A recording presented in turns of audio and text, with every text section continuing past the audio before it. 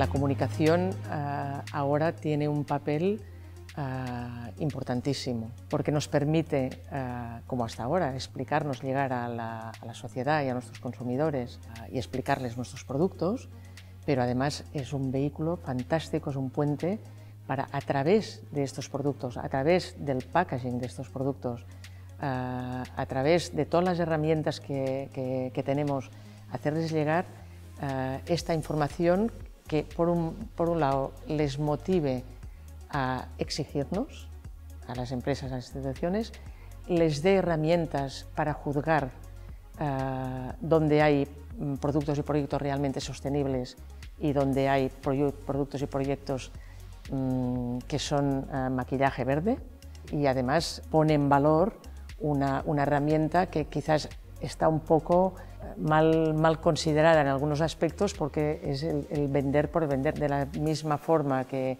la sostenibilidad puede revalorizar el, diseño, también mmm, revalorizará a todo el mundo la comunicación, la absoluta necesidad que tenemos de ella. Comunicar de, de, de alguna forma tiene que ver con fomentar, con informar, con, con la pedagogía, con, la, con todas estas palabras que al final son las que nos hacen libres. Solo estando informados somos libres. Las empresas de comunicación, las empresas de diseño, ahí tenemos una grandísima oportunidad. Una oportunidad en resituar la propia palabra diseño. A nivel de, marketing se está trabajando mucho en esta comunicación. El consumidor, la sociedad en general, Uh, ya era muy sensible a estos temas y, y, ahora es, un tema creciente cada día más.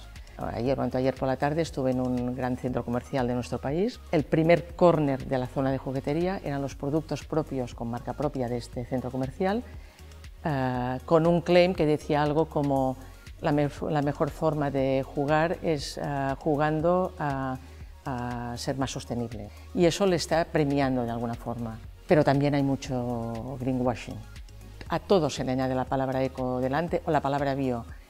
Ahí uh, las entidades públicas están haciendo también un esfuerzo por, corregir y, se ha legislado ya para que, para que estos apéndices se usen correctamente.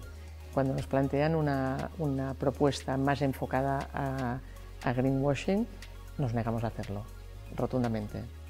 Hay empresas que se molestan y pierdes el cliente, hay empresas que, lo aceptan y, llegamos hasta el final.